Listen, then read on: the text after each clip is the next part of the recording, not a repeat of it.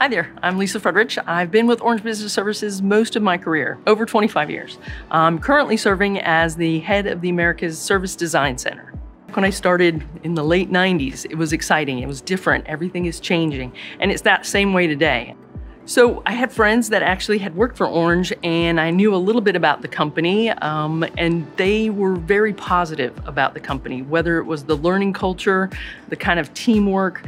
Um, Orange does seem to be very much a caring company when I first had heard about them and it's been true my entire career. They're very much on developing employees, serving customers, being a socially conscious company, which is not a common thing, I think. So it was a really interesting opportunity.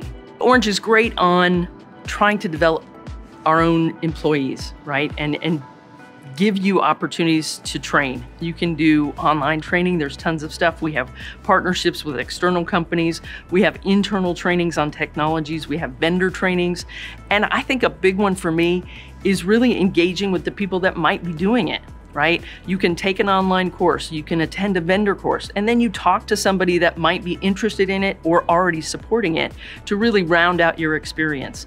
Um, I think the other thing is that the company does do external courses as well, right? So they invest in, in in our staff. I was recently just at a course and I'm sure that was not cheap, um, but the fact that the company is willing to invest in us to develop us, I think is a key thing. And if you want it, you have to just go for it.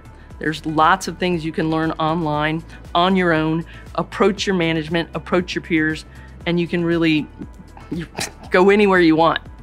And the company actually has another focus on empowerment, right? And I really believe that that's important.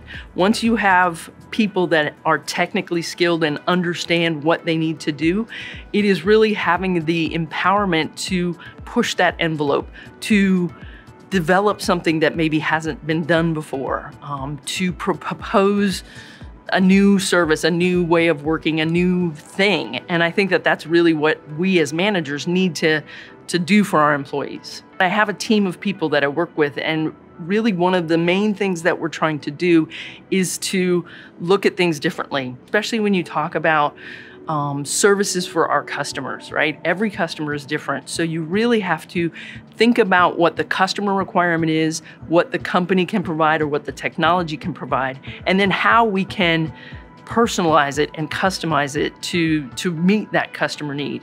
And I think that that is something we do on a daily basis my personal value, as well as I think the value for the company is that we really have a team of people that are willing to work together, to work hard, to find solutions, but also that enjoy doing it. I mean, there's a lot of people that have longevity here. And if we were miserable in that environment, we wouldn't stay, right? Um, so I think it's really that that caring attitude and that value that makes us want to stay, want to be engaged, and want to continue.